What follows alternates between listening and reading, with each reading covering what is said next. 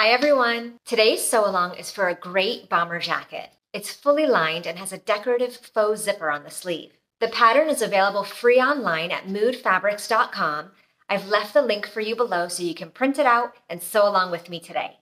Go ahead and subscribe so you're always notified when a new video is posted, and make sure you check out my other sew alongs for more great sewing projects. Now let's sew the Avelia jacket.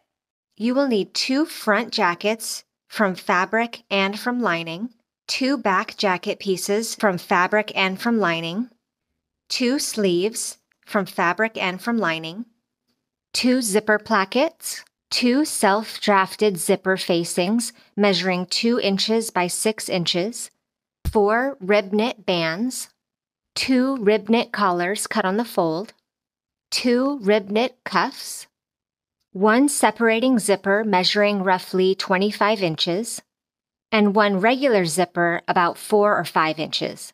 Let's create the stitching grid for our zipper using our self-drafted 2 by 6 inch pattern piece. Fold your pattern piece in half on the long edges to form a crease. Open it up and measure a quarter inch from both sides of the crease and mark.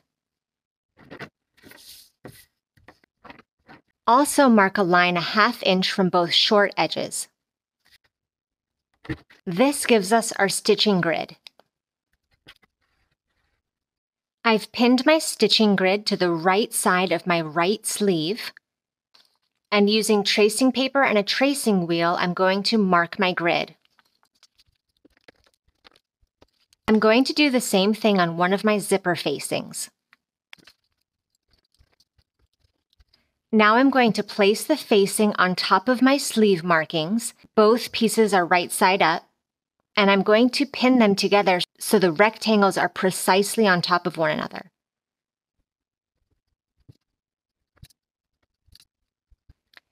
Now take this to your machine and sew along your stitching guide.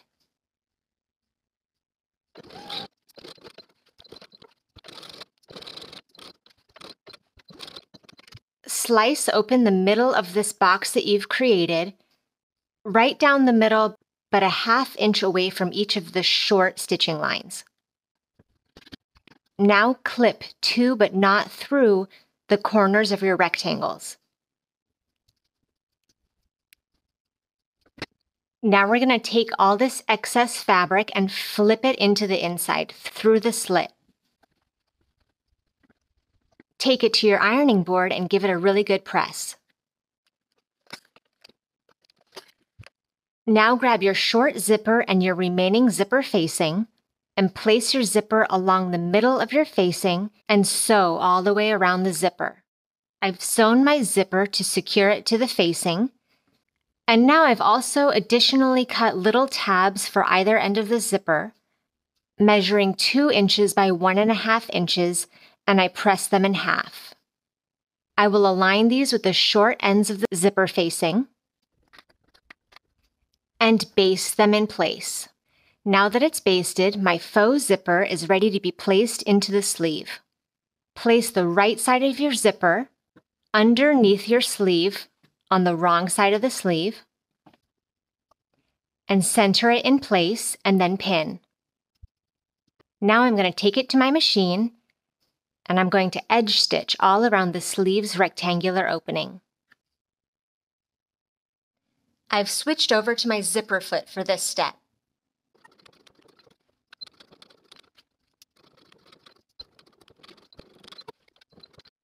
Now here is my faux zipper from the outside.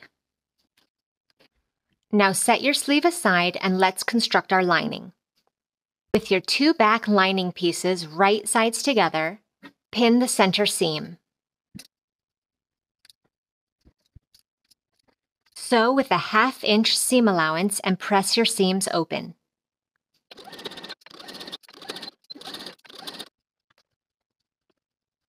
Place your front lining pieces right sides together with the back lining piece and pin the shoulders and side seams. Now sew your shoulders and side seams with a 1 half inch seam allowance and press them open. Now fold your sleeve right sides together Pin and then sew the side seam with a half inch seam allowance. Now it's time to set our sleeves into the bodice. With right sides together, start by matching your underarm seams and your notches and pinning.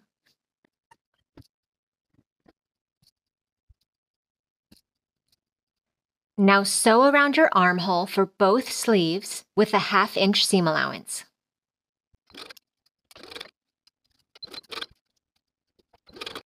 Now that my lining is complete, I'm going to set it aside and follow the exact same steps for the construction of the main jacket, starting with sewing the seam for the back pieces. So go ahead and sew your seams, set in your sleeves, and I'll meet you back here. Now that the shells of our jacket and lining are complete, let's work on our rib bands. Place your two sets of rib bands right sides together and clip the short ends. Only clip these two short ends and sew with a half inch seam allowance. Now that you've sewn the sets of bands together, place them right sides together and clip one long edge and sew this long edge to join. Use a zigzag stitch or a serger and maintain your half inch seam allowance. Now that our band is joined together, we can attach it to the jacket. With right sides together, match your open band to the bottom of your jacket, matching the back seam and the center front seams. Now place your lining right sides together with your jacket, sandwiching the band in between. Match again your center back, center front seams, and pin all along the hem, stretching your band to fit.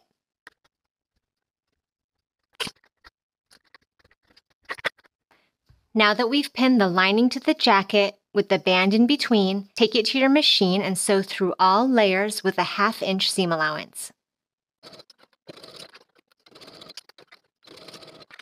Now that our lining is attached, flip it up and push the lining sleeves through the main sleeves.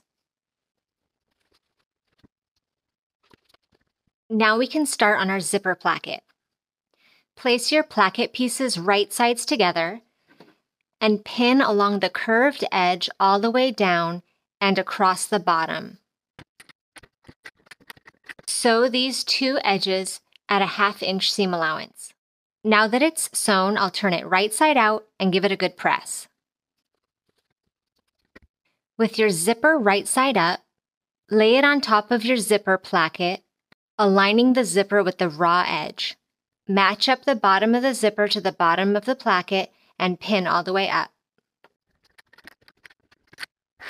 The zipper may be longer, it's okay for now.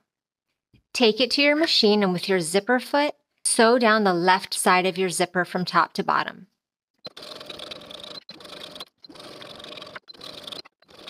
Now pin your placket right sides together with the right side of your jacket, tucking it into your rib knit band encasing it in there and matching the corner and pinning. I've unpicked my lining half an inch from the edge. This is going to allow me to top stitch my lining to the front of the jacket at a separate step and give me a cleaner finish than what I'm seeing in the original pattern instructions. Pin everything but the lining piece, and when we sew, don't catch this portion. Fold down your rib knit half an inch and pin. That will give us the beginning of our band enclosure when we go to sew that later on.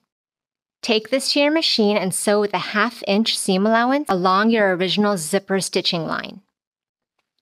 So now I've sewn on my right zipper placket, tucking it into the cuff, enclosing the cuff with that half inch folded under. And I was careful not to catch this lining portion. Now I'm going to top stitch the edge of my zipper placket, catching the lining on the opposite side all the way to the top.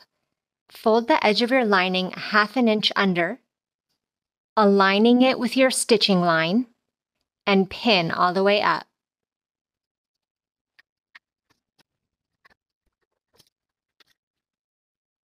Now take it back to your machine and top stitch your jacket close to the left zipper teeth along the edge of the jacket, top to bottom. I'll be stitching about an eighth inch away from this new zipper seam, periodically checking underneath to make sure that I'm catching the lining.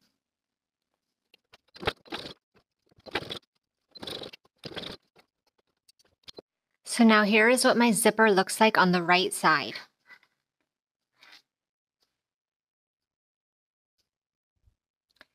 Now separate your zipper and align the left side of your zipper tape with the left side of your jacket, the same way we did for the right side. Remembering to unpick your lining a half an inch away from the edge so that we can enclose the seam the same way we did on the other side. Align the edge of your zipper tape with the raw edge of your jacket, enclosing it in your rib band, pinning all the way up, and then stitching with your zipper foot. Once you've sewn your zipper, turn it under to the inside of the garment and roll your lining half inch and pin close to the zipper teeth. We're going to top stitch the left side of the jacket the same way we did on the right side. Now that my zipper is fully installed, I'm going to finish my bottom hemband, folding it up half an inch and pinning it just over the original seam so that when we stitch in the ditch on the other side, we're catching this side of the hemband.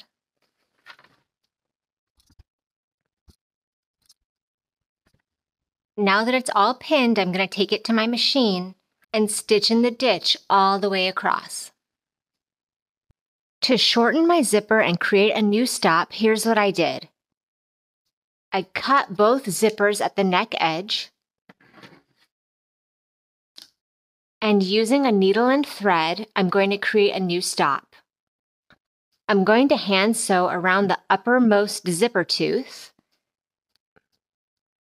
many times to create a blockage.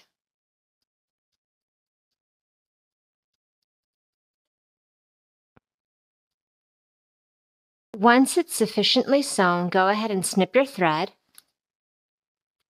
Do this for both sides of your zipper. Fold your cuff in half right sides together. Clip the edge. Take it to your machine and sew with a half inch seam allowance. Now that it's sewn, fold it wrong sides together and mark your quarter points on the raw edge.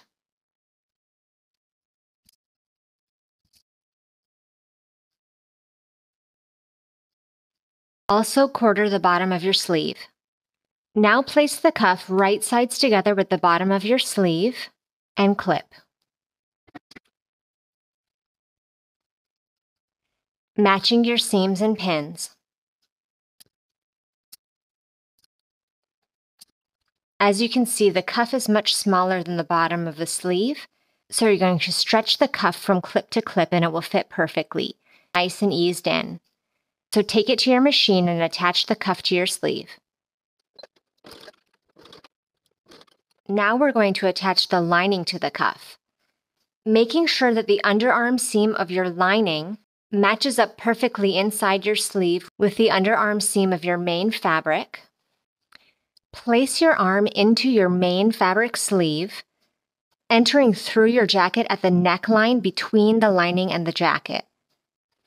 Pinch your lining and the cuff at the side seams. Hold it tight, pull it all out through the neckline.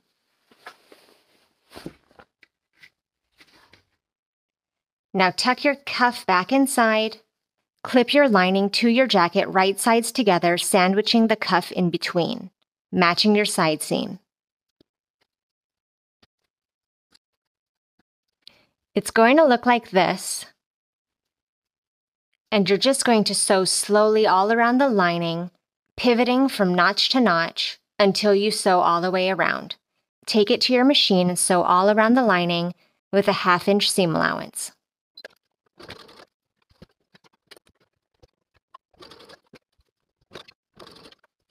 Now that the cuff is sewn, reach your hand through the outside of your sleeve and pull the lining through. Now we have a nice finished cuff with a nice enclosed lining. Now the last thing to sew is our collar. Place your collar pieces right sides together and pin all along the top curved edges. Sew with a half inch seam allowance. Now that it's sewn, turn it right side out and we're going to attach it to our neckline. Before we attach the collar to the neckline, take a moment to baste the lining to the top of your jacket. Now clip one layer of your collar piece to your jacket matching center backs and center fronts.